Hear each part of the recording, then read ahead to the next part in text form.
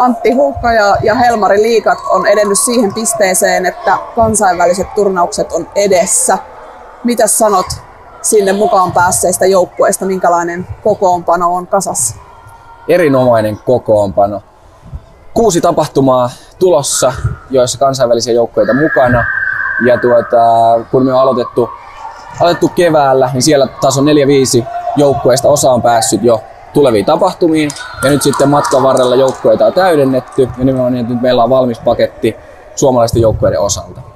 Helmarin liikan puolelta meillä kävi niin, että taso 4-5 joukkueita pääsi 12-14-vuotiaissa myös kansainväliseen turnaukseen, mutta samoin kaksi yhdistelmäjoukkuetta sekä sitten neljä joukkuetta, jotka ovat aloittaneet sieltä kierroksilta 1-2 kautta sitten kolme muodostuneet, niin tosi hienoa, että saadaan erilainen kattaus seuroja ja joukkueita myös kansainväliseen turnaukseen.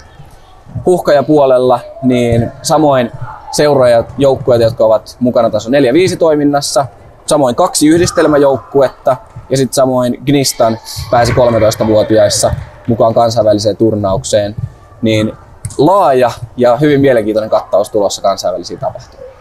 No mitä sanot nyt näistä vaikka yläloppusarjan otteluista? Minkä tasoisia tai muuten minkälaisia otteluita näit täällä? Niin, Huhka ja Helmari liigassa yksi tärkeä asia on merkitykselliset pelit. Niin kyllä sen on havainnut, että yläloppusarjoissa eikä onneksi myös alaloppusarjoissa, niin kyllä se huomaa, että peleillä on merkitystä ja panosta, niin sitä kautta myös pelien taso on ollut huomattavasti parempi sekä on ollut kiva seurata että pelaajilla ja tällä tapahtumalla on tullut vielä isompi merkitys. Kansainväliset turnaukset pyörähtää sitten marraskuussa käyntiin ja miten ne sitten etenee?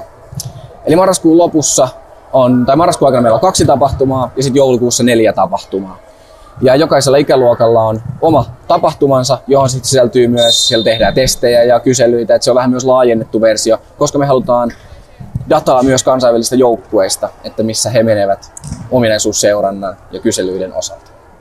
Miten te hyödynnätte tätä dataa sitten tulevaisuudessa?